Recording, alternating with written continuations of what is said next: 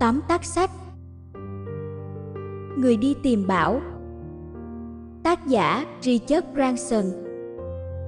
Giới thiệu. Người đi tìm bảo năm 2017 là quyển sách được trông đợi sau phần một đường ra biển lớn. Hai quyển sách này viết về tiểu sử của tỷ phú Richard Branson. Tiếp nối phần trước, bối cảnh kỹ thuật đang phát triển mạnh mẽ tạo điều kiện để nhiều loại hình kinh doanh ra đời, thậm chí có cả cơ hội để khởi động một doanh nghiệp đưa con người vào vũ trụ. Quyển sách này dành cho ai? Những doanh nhân, những độc giả quan tâm đến cuộc đời của một vĩ nhân.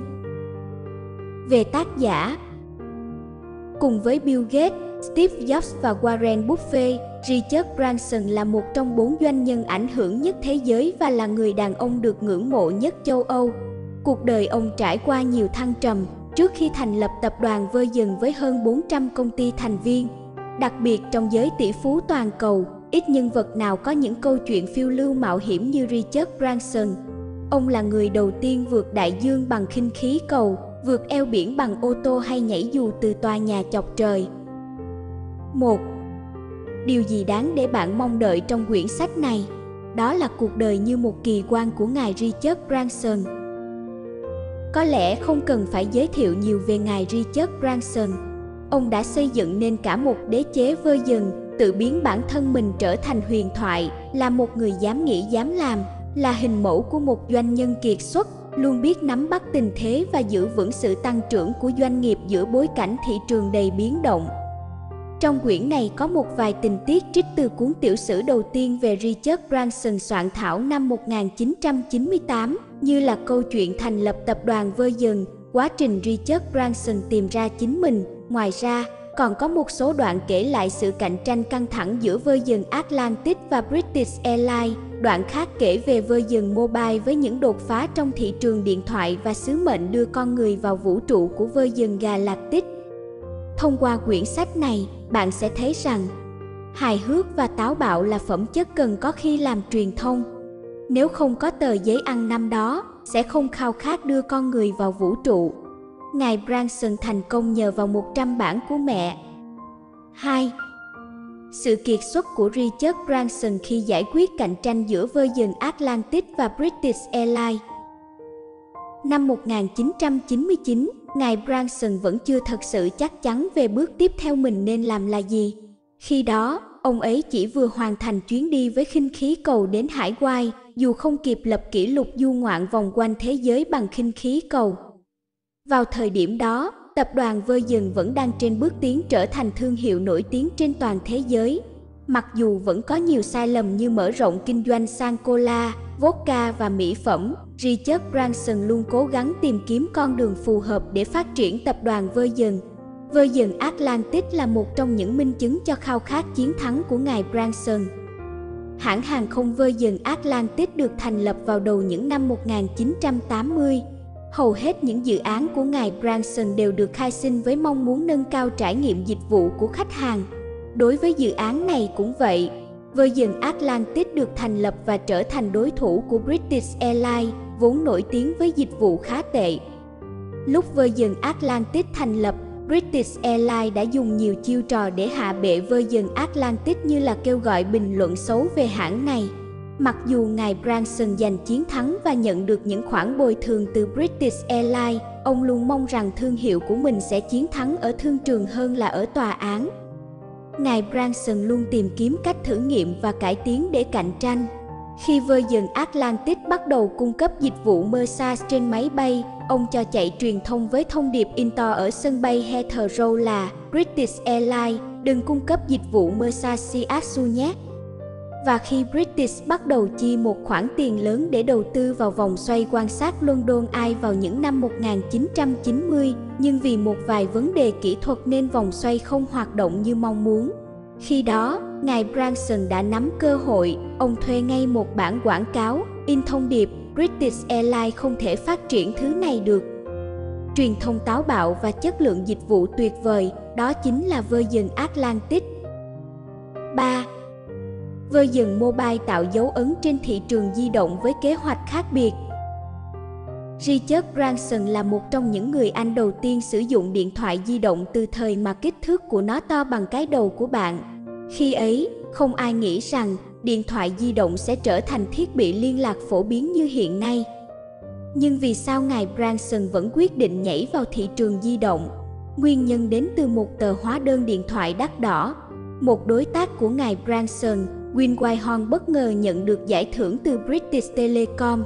Ông ấy được trao giải vì có hóa đơn điện thoại đắt nhất nước Anh.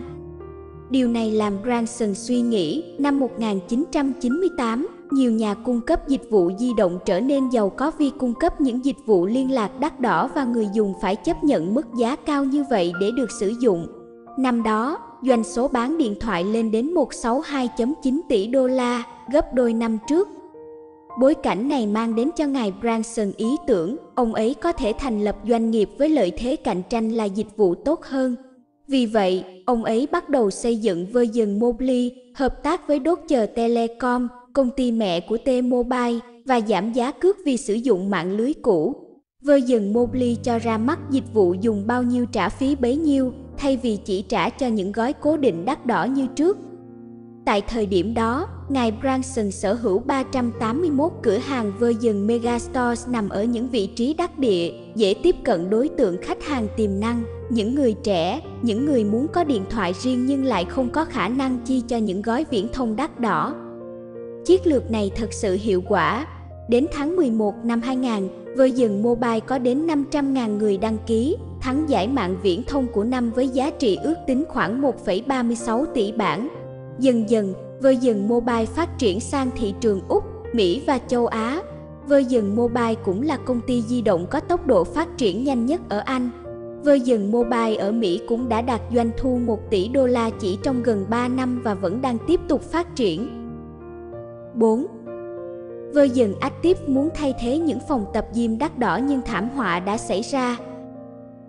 Hầu như lúc nào ngài Branson cũng có ý tưởng mới, nhưng không phải cái nào cũng phù hợp với mô hình kinh doanh của tập đoàn Virgin, ví dụ như Virgin Active.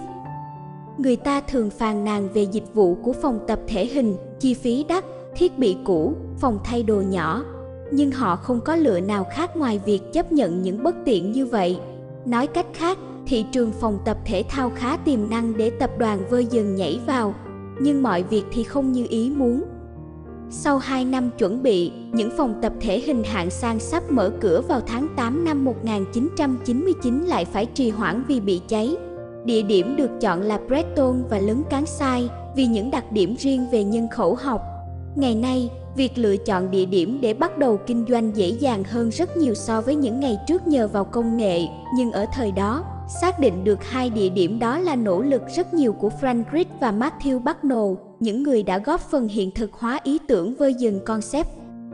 Họ chú ý rất nhiều đến cơ sở vật chất của phòng tập, không gian rộng rãi, vòi tắm được trang bị thuộc loại tốt nhất thời điểm đó, Đến cả những chi tiết nhỏ nhất cũng được để ý, khăn tắm luôn sẵn sàng, nước ở hồ bơi luôn ở một nhiệt độ thích hợp. Khi mọi thứ bị thiêu rụi trong đám lửa, họ vẫn chi trả đầy đủ cho nhân viên mặc dù không có doanh thu. May thay, khi phòng tập được sửa sang, nhiều nhân viên vẫn nhiệt tình ở lại làm việc và ghi dấu ấn trong cộng đồng. Dấu ấn của Virgin Active là giá cả phải chăng? Đối thủ cạnh tranh trong vùng là Livingale, yêu cầu khách hàng chi 300 bảng chỉ để đăng ký. Ở Virgin Active, không có những khoản phí vô lý như vậy và những gói dịch vụ dài hạn. Vì vậy, khi phòng tập mở cửa, khách hàng đã chờ sẵn trước đó để đón nhận dịch vụ tập thể hình mà họ yêu thích. 5. Vơi dừng trên là lợi ích dễ nhìn thấy nhất khi mảng giao thông công cộng được tư nhân hóa. Tương tự như British Airways, nhiều dịch vụ ở Anh vốn được điều hành bởi chính phủ. Về hàng không, có hãng British Airways, về tàu hỏa có British Rail, ngoài ra khí đốt, thép và than cũng được điều hành bởi chính phủ. Nhưng Richard Branson đã bắt đầu thay đổi cục diện đó, bắt đầu từ tàu hỏa. Ý tưởng đến từ những trải nghiệm của ông trên con tàu cao tốc nổi tiếng từ Tokyo đến Kyoto năm 1991 khi Bộ Vận tải bắt đầu tư nhân hóa British Rail và kêu gọi nhiều doanh nghiệp đấu thầu, Virgin Trains cũng đã sẵn sàng để tham gia. Điều này là một thách thức. một chiếc tàu hỏa mới và tốt hơn cũng đòi hỏi cơ sở vật chất phải thay đổi, điều này làm tăng chi phí lên rất nhiều so với ước tính. Nhưng hai bên đã dần đạt được thỏa thuận và đến đầu những năm 2000, Virgin Trains đã cho ra mắt dịch vụ West Coast Main Line. Khi đó, sự thay đổi trong ngành giao thông công cộng đã dần rõ rệt. Chuyến tàu thử nghiệm Pendolino mà ngài Branson mang đến nước Anh cho thấy việc di chuyển từ London đến Manchester nhanh hơn 15 phút. Và trong tuần đầu tiên 82% chuyến tàu đến đúng giờ, chỉ 4 chuyến bị trì hoãn và mọi việc cũng bắt đầu tốt hơn từ đó. Virgin Trains đã cải thiện tình hình hỗn loạn, sắp xếp chuyến thiếu chính xác mà dịch vụ tàu hỏa công cộng đang phải đối mặt. Kết quả, số lượng hành khách tăng lên gấp 3 lần và mạng lưới đường sắt cũng tăng gấp bội. Nhiều người khác, như là lãnh đạo đảng lao động Jeremy Corbyn, cho rằng nước Anh vẫn nên quốc hữu hữu hóa ngành này vì lượng hành khách sẽ ngày một nhiều lên.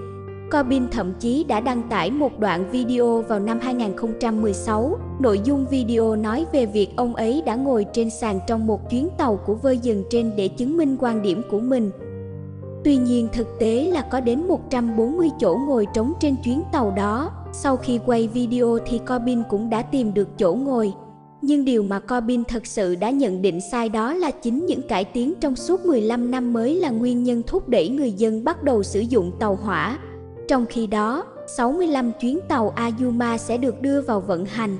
Và như mọi khi, Virgin trên sẽ luôn cố gắng để cải thiện mọi thứ tốt hơn. 6. Virgin Unit và lý tưởng làm cho thế giới trở nên tốt đẹp hơn.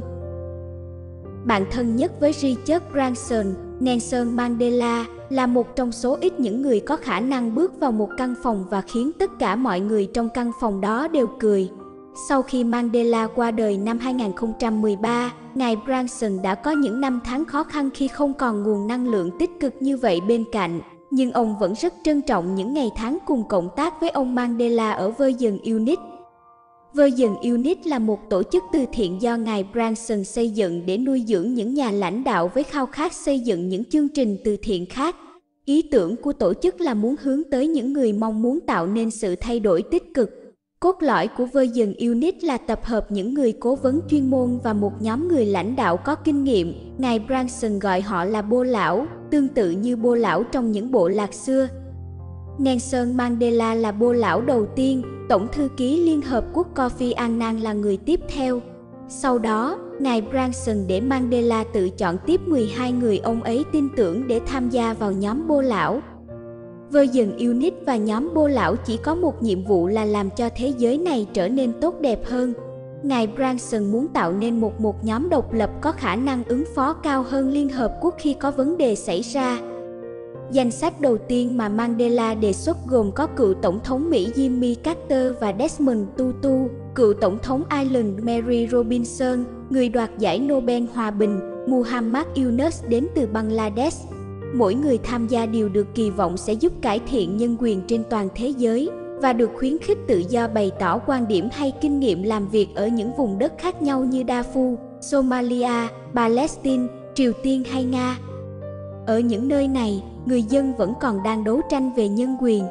Virgin Unit với tập hợp những con người có tầm nhìn vượt trội trên toàn cầu và lòng trắc ẩn sâu sắc, có sứ mệnh tìm ra giải pháp cho những khủng hoảng đó. 7 quá trình Virgin America trở thành một trong những hãng hàng không tốt nhất thế giới và quyết định bán đi đầy khó khăn.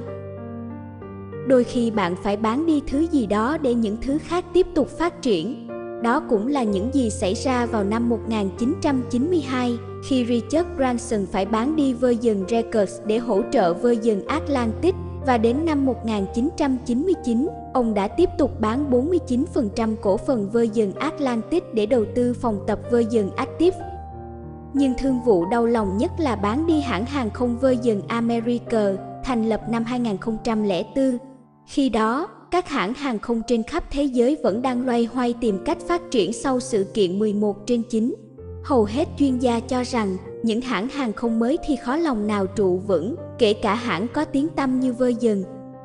Tuy nhiên, ngài Branson nhận ra rằng hầu hết hãng hàng không Mỹ đang cung cấp những dịch vụ và trải nghiệm khiến khách hàng phải chịu đựng hơn là tận hưởng. Ông nhận định đây vẫn là cơ hội tốt để bắt đầu ở lĩnh vực mới. Mất đến 3 năm, ngài Branson mới có thể thu thập đủ đơn kiến nghị và thuyết phục Bộ Vận tải Mỹ cho phép Virgin America cất cánh.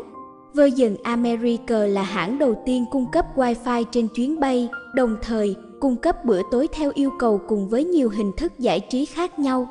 Kết quả, Virgin America trở thành hãng hàng không nội địa tốt nhất trong 10 năm liền, theo nhà xuất bản uy tín con đẻ NAS. Nhưng theo luật, ngài Branson không thể sở hữu toàn bộ Virgin America vì ông không phải là người Mỹ, ông không thể sở hữu nhiều hơn 25% cổ phần của công ty. Bắt đầu từ 2014, rất nhiều công ty đã muốn mua lại Virgin America. 18 tháng sau Alaska Airlines đã mua lại thành công Virgin America với giá là 2,6 tỷ đô la.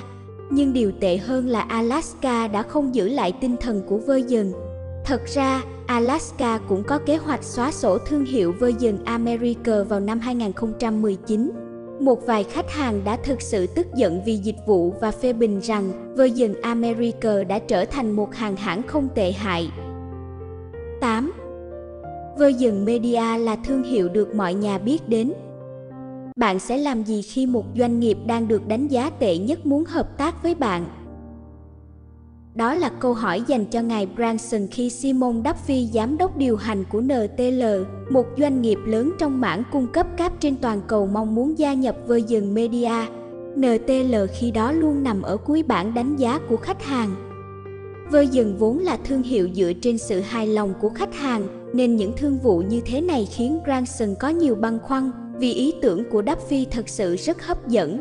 Đây là cơ hội để Virgin Media mang dịch vụ đến từng nhà, gồm có dịch vụ cáp, dịch vụ Internet, điện thoại di động và cố định. Virgin thích gọi đây là gói for play hơn là quát play như cách gọi của Duffy. Vấn đề của NTL ở chỗ họ từng phục vụ khách hàng một cách cứng nhắc theo nhiều kịch bản có sẵn.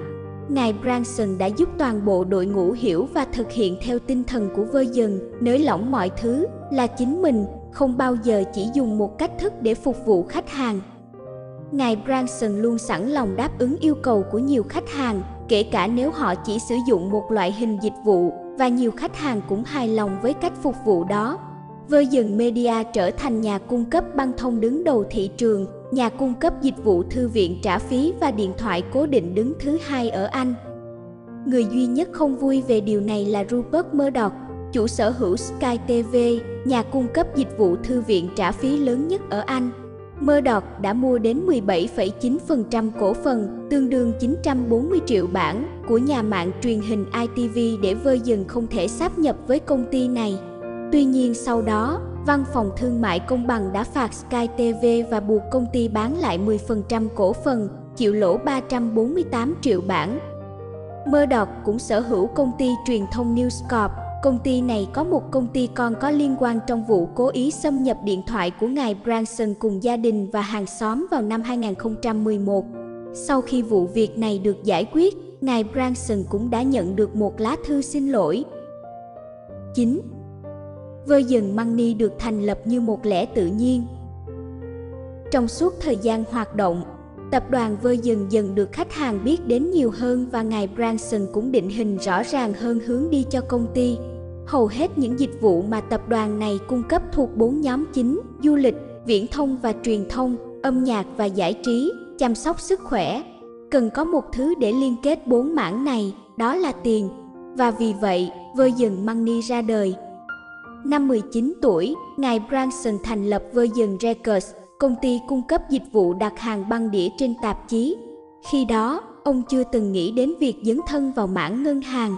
Tuy nhiên, khi khủng hoảng tài chính năm 2007-2008 diễn ra, ông nhận thấy rằng người dân chưa được hưởng những dịch vụ tài chính tốt nhất. Đến cả những ngân hàng nổi tiếng như Northern Rock cũng đang thiếu tiền gửi tiết kiệm để duy trì. Ngài Branson đã dùng 1,25 tỷ bảng để mua lại Northern Rock và chính thức trở thành giám đốc ngân hàng. Nhưng thực ra ý tưởng về Virgin Money thì đã được hình thành trước đó. Vào năm 1997, khi ngài Branson nhận ra rằng không ai tin tưởng ngân hàng, nhưng họ tin vào ông ấy và thương hiệu ngài Branson. Trong suốt 20 năm, Virgin Money đã cung cấp dịch vụ thẻ tín dụng, tiết kiệm, dịch vụ đầu tư. Và giờ đây, khi mua lại no dừng róc dịch vụ của Virgin Money đã hoàn thiện, bao gồm luôn mảng thế chấp. Nhưng điều khiến ngài Branson thật sự thích thú là những phòng chờ của Virgin Money. Ở đó, khách hàng có thể thư giãn, sử dụng thức uống miễn phí và gặp gỡ bạn bè. Phòng chờ của họ như một nơi để chậm lại giữa nhịp sống hối hả. Những chi nhánh của Virgin có phòng chờ thì mang lại kết quả kinh doanh tốt hơn 300% so với những chi nhánh không có. Rõ ràng là mô hình này rất hiệu quả. 10. Vơi dừng gà lạc tích, dự án ngài Branson yêu thích nhưng không thể hoàn thành. Nhiều người đã mơ trở thành phi hành gia khi họ còn trẻ, nhưng chỉ một số ít người kiên định và đủ đam mê để thực hiện ước mơ đó như ngài Branson.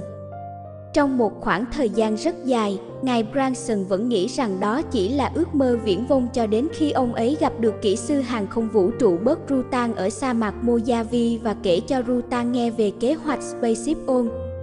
Năm 2003, sau 12 năm tìm kiếm, ngài Branson đã nhìn thấy một bản thiết kế tàu không gian có tính khả thi được vẽ bởi Rutan trên một tờ giấy ăn.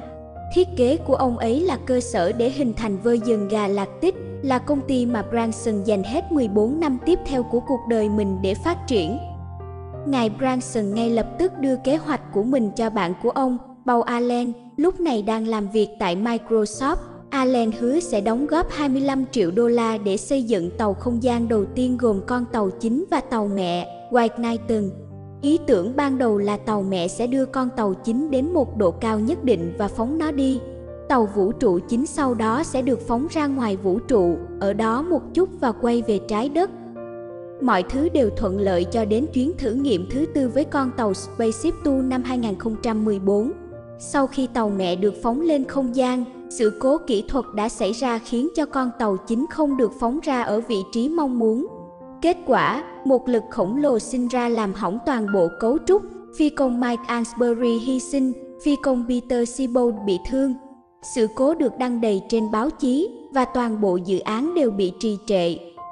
Những bài báo giật tít như vụ nổ phóng tàu không gian được đăng công khai, mà đứng sau là một tờ báo uy tín như Associated Press. Thực tế, không có vấn đề gì về máy móc hoặc có bất kỳ vụ nổ nào. Những cuộc điều tra đã tìm ra nguyên nhân thực sự ở đâu nhưng truyền thông vẫn tiếp tục thổi phồng nó theo chiều hướng tiêu cực. Câu hỏi được đặt ra ở đây là liệu Virgin tích sẽ có thể tiếp tục tồn tại sau thảm kịch kinh hoàng này hay không? 11. Branson vẫn hy vọng đưa khách hàng của mình vào vũ trụ, không phải vì cái tôi của mình. Khác với chương trình Space được phát triển bởi doanh nhân Elon Musk, Virgin Galactic của ngài Branson không hướng đến sao hỏa. Ông muốn đưa con người ra ngoài không gian để họ có thể nhìn thấy trái đất từ một góc nhìn khác. Đó sẽ là trải nghiệm mà họ sẽ nhớ mãi trong suốt quãng đời còn lại. Hiện giờ bạn đã có thể đặt chỗ để trở thành một trong những thành viên đầu tiên của phi hành đoàn. Ngài Branson vẫn rất hy vọng những chuyến du hành thương mại sẽ sớm được thực hiện.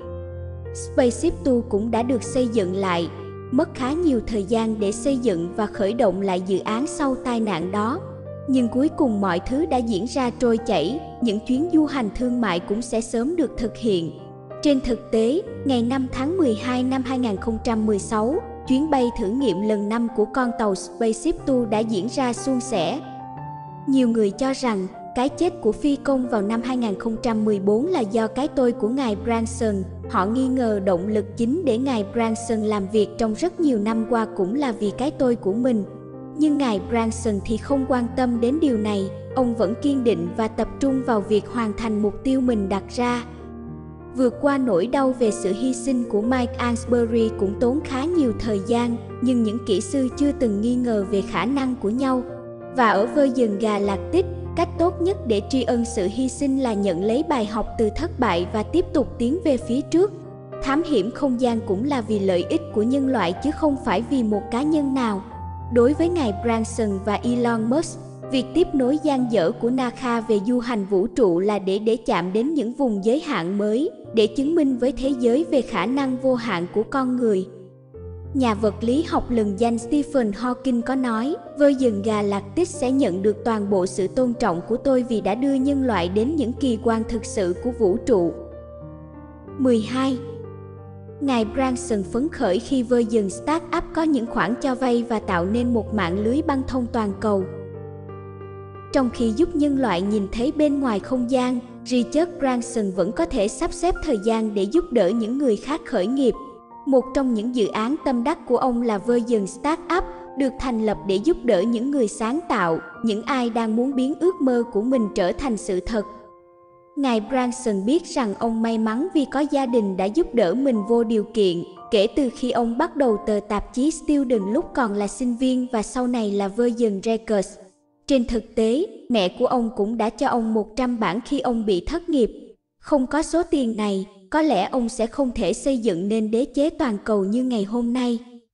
Ngài Branson muốn những người khác cũng có cơ hội như ông đang có, vì vậy, ông đã vận động hành lang để chính phủ Anh góp một phần khoản vay cho sinh viên và quỹ đầu tư cho tuổi trẻ để giúp đỡ những người khởi nghiệp. Đây cũng là khởi điểm của Virgin Startup, một cách khác để giúp đỡ những người trẻ vay vốn khi họ không thể đáp ứng đủ điều kiện vay của ngân hàng. Đến ngày 4 tháng 5 năm 2016, Virgin Startup đã cung cấp hơn 1.000 khoản vay ngắn hạn trong 3 năm, tương đương 10 triệu bảng và hàng chục ngàn giờ tư vấn. Nhưng đó chưa phải là tất cả những gì mà Branson muốn hướng đến. Một dự án mà ông đánh giá cao là ONEVKEB, đó là đứa con tinh thần của Greg Wheeler, một người cải tiến công nghệ. Ông mong muốn có thể xây dựng nên một hệ thống những vệ tinh cung cấp kết nối Internet trên toàn cầu, hướng đến 4 tỷ người vẫn chưa được kết nối Internet ở thời điểm hiện tại. Ý tưởng này xuất phát từ mong muốn giúp những người ở các khu vực chưa phát triển hoặc những vùng chưa được kết nối Internet có cơ hội để phát triển.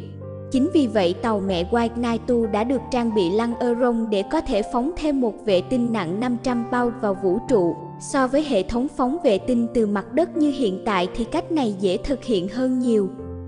Mục tiêu là đến năm 2019, ONEVKEB sẽ có thể hoạt động. Khi đó, chúng ta sẽ có một mạng lưới liên lạc mạnh gấp 10 lần so với thời điểm hiện tại. 13. Richard Branson không ngại lên tiếng về những vấn đề chính trị. Richard Branson thừa nhận ông khó giữ thái độ trung lập, nhất là khi có nhiều thông tin sai lệch được lan truyền về những vấn đề mà ông quan tâm như là thay đổi khí hậu, cải thiện trại giam, phòng ngừa HIVS và nhân quyền. Ngài Branson cũng là một người có sức ảnh hưởng đến những vấn đề toàn cầu. Như vụ việc ở Nam Phi là một ví dụ, Ông từng dành nhiều thời gian ở Nam Phi để cố gắng tìm kiếm phương pháp giảm hậu quả của HIVS và sự lây lan của bệnh này. Vì vậy, ông rất tức giận về việc Bộ Y tế Nam Phi tuyên bố hỗn hợp củ cải đường, khoai tây, tỏi và chanh có thể điều trị HIVS.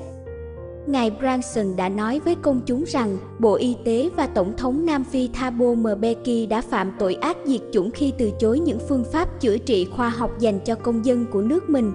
Về sau, ông cũng đã có một buổi trao đổi với Tổng thống Mbeki. Tuy nhiên sau đó, vị Tổng thống ấy bị buộc từ chức trước khi có thể thực hiện những cải thiện như đã lên kế hoạch, bao gồm việc thành lập một trung tâm kiểm soát bệnh tật. Có một sự thật là những vấn đề về biến đổi khí hậu đang dần bị chính trị hóa, nhưng tập đoàn Virgin thì vẫn kiên quyết trong việc thay thế nguồn nhiên liệu hóa thạch. Và có điều đáng buồn khác là có đến 100 tỷ đô được chi để thực thi luật phòng chống ma túy, trong khi ngành công nghiệp ma túy vẫn đang tiếp tục phát triển với quy mô 320 tỷ đô la và không có dấu hiệu chậm lại. Bồ Đào Nha là một ví dụ thành công về việc hợp pháp hóa ma túy. Ở đất nước này, nghiện ma túy là một vấn đề sức khỏe của cả cộng đồng. Người nghiện không phải là phạm nhân mà là bệnh nhân và nhận được sự quan tâm, giúp đỡ của toàn xã hội. Nhờ vậy, tình hình ma túy của quốc gia này đã được cải thiện đáng kể có rất nhiều thứ cần làm và đối với ngài Branson, không gì có thể giới hạn ông thực hiện những điều mà ông mong muốn. Tổng kết Nội dung chính từ quyển sách này Từ những ngày đầu thành lập Virgin Records vào năm 1970, Richard Branson đã liên tục tìm kiếm những cách hiệu quả để mang đến trải nghiệm tốt hơn cho khách hàng. Bất cứ lĩnh vực nào mà ông tìm thấy cơ hội phát triển, ông đều nhiệt huyết thâm nhập thị trường và nâng cấp dịch vụ. Ngoài những cải tiến trong lĩnh vực hàng không và giải trí hay thành lập tổ chức từ thiện như Virgin Unit, Branson luôn mong muốn làm cho thế giới tốt hơn khi lên tiếng về những vấn đề như cải cách luật ma túy, cắt giảm khí thải carbon và chống HIVS ở châu Phi. Lời khuyên từ Richard Branson Branson luôn nhắc nhở những người đồng nghiệp của mình hãy ghi chú nhưng không có nhiều người thực sự làm theo lời khuyên của ông. Theo nghiên cứu của ông, những người thường xuyên ghi chú có năng suất làm việc cao hơn vì đôi khi những ý nghĩ tuyệt vời xuất hiện chỉ trong vài giây và nếu không ghi lại bạn có thể quên mất nó trong chốc lát. Cảm ơn bạn đã nghe tóm tắt sách Người đi tìm bảo của tác giả Richard Branson tại truyền cảm hứng. Nếu có điều kiện hãy mua và đọc cuốn sách để ủng hộ tác giả, bạn sẽ cảm thấy hạnh phúc hơn rất nhiều.